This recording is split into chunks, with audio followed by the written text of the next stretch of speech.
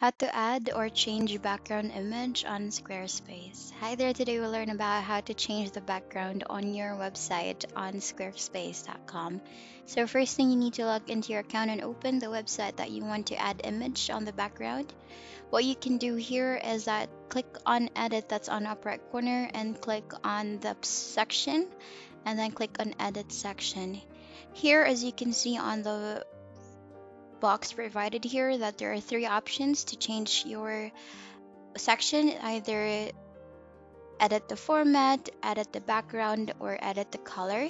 So in this case, we just need to click on background and then here we can either add an image, a video, or an art. So for example, where we will be adding this art that is being provided on this platform. When you click on it, as you can see, it automatically is generated or applied into your website here. So what you can do is that you can simply just do trial and error on to for you to see on what fits best into your account or into the website.